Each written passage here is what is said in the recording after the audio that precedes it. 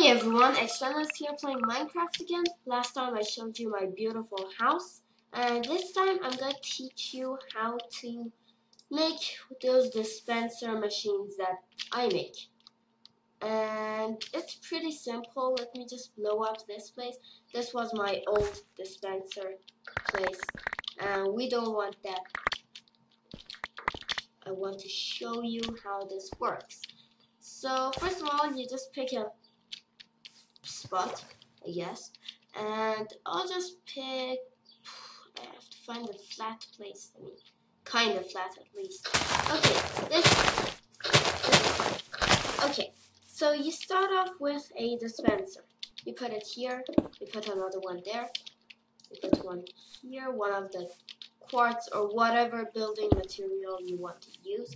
You put that there, and you put one dispenser here or there. And then what you're gonna do is dig two down and go all the way here until you reach the back of that. And then you're gonna place a pressure plate right over here and then we're gonna put some redstone under here. So when you stand on this, that should light up. And that's what you want to do because you want that to light up. So after you've successfully done that, you put two quartz there, one here and one here. So you go up like this just to test it out, you put something in here and you stand on that. So now you know that it works. Now you go up like this and all of them should work basically. They should. So let's test it out. You put you cover this with quartz and then go up. Just to cover, you know, the ugly places of the redstone shed. That. So you just go ahead and cover this whole place. It doesn't matter, I don't want to make it pretty right now because I don't really care.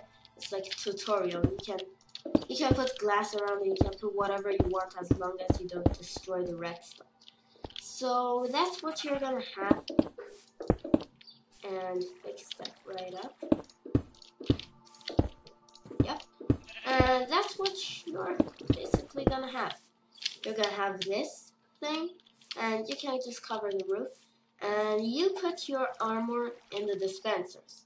I prefer doing it real, like, you know, putting the Iron Man shoes there, and putting the legs there, and putting that there and putting the helmet there. Now when I go stand on it, my armor should come on. And there you go. So you have this pretty simple design. I also have another trick for you which would make it kind of amazing. And here's the trick. You get all that and you actually put a piston under yourself. So this again should work. It most definitely will. And it makes it kind of prettier. So you put the pressure plate on there and shit, take away that. And you put the shoes there. Okay, I don't have my armor on. It should come on and there you go. So this is a pretty simple design. And the one that you, you know, run through and the armor comes on you. It's a lot more complicated and yes, I made it and it will take me a long time to explain it, but I can just show you the design kinda. This is the basic design. And those pressure plates are here. You see, the redstone is under the pressure plate as you saw in the other machine that I built. Because pressure plates activate the redstone under them. So that's why I use pressure plates. And also, this goes all the way up. That, the pressure plate activates it. This goes all the way up here. And this acti act act activates a dispenser, which is placed one block away from the pressure plate. And this is just to get the timing right because you want to run, not sprint, because if you sprint, you'll be too fast for the dispensers to put your armor on. So you will have to run the normal speed. And this is just to get the timing right because you don't want to go like this. This is just walking and it's plain boring. So you want to run and when you run, this comes on. It's just to get the timing right and you have to place the legs, the, the pants, last because the pants give you you know, superhuman, supersonic speed in running. As you can see here, I'm very much faster than a normal Minecraft, than normal Steve. So yeah, that's why you should put it last because otherwise you will run too fast and you would ruin the timing. Another design that I've personally made, and these are not copies of anyone. No one has ever, ever, ever, ever attempted to build this and I'm pretty sure no one has. I'm really sure no one has. So I'm gonna test this out, and you're gonna watch me. This is a pretty simple design. It's not simple, but it, it was simple for me. I really do well with, you know, uh, redstone contraptions. So what this does is put your armor on while you're on a roller coaster. So yeah, just watch.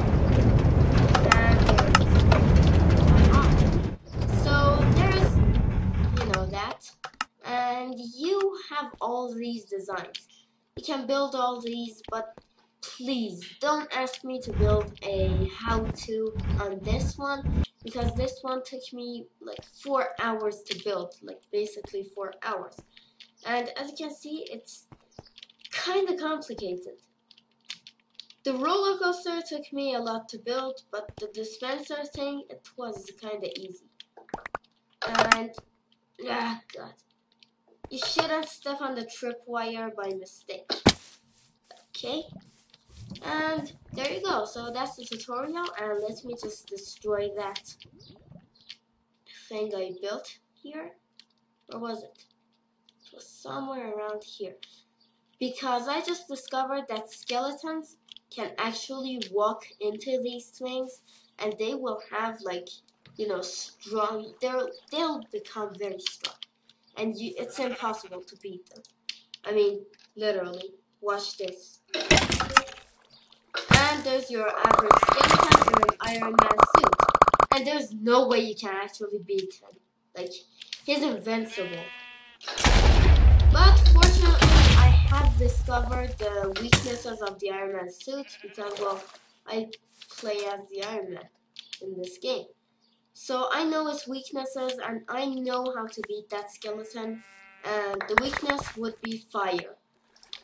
And it's it's not easy, but you know, this is the way. You guys set that guy on fire. And you should be careful so it doesn't go in water. And nothing, I mean nothing, can beat him. Well, can't beat him.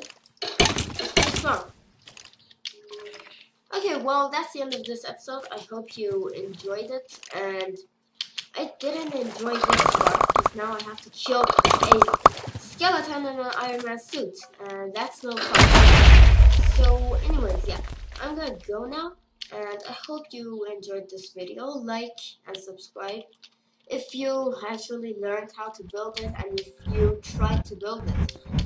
And I really hope this works out for you because I find this really amazing. I really love this mod.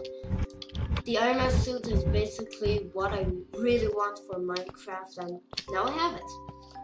And also, you know, I hope you try out the roller coaster design because it's really awesome. And I'm sure you can do it. I'm sure you can manage. And yeah, so that's the end of this video. I'm gonna go now. And paham.